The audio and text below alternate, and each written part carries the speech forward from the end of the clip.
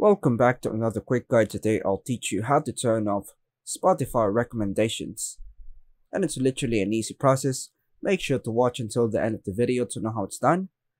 To turn off Spotify recommendations and manage the content you see, you can take several steps within the Spotify app and your account settings.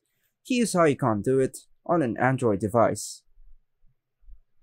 First method, manage autoplay.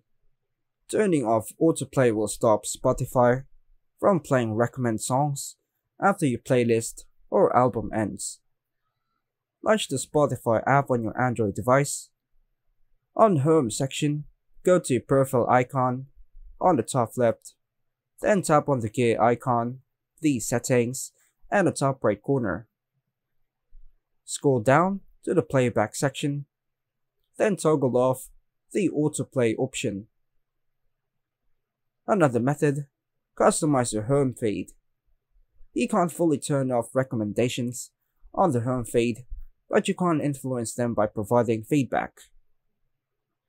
On the home screen, scroll to the recommendation section and choose your song playlist that you want to remove.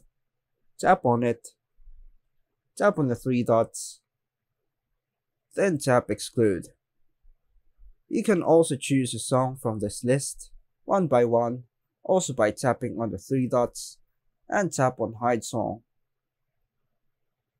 Now, interact more with the content you like, for example, follow artists, like songs, add to playlist.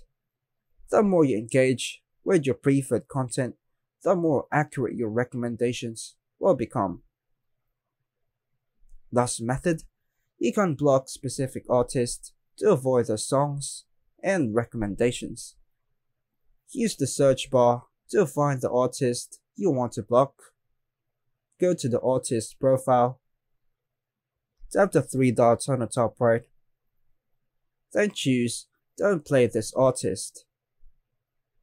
By following these steps, you can significantly reduce unwanted recommendations, and tailor your Spotify experience to better suit your preferences.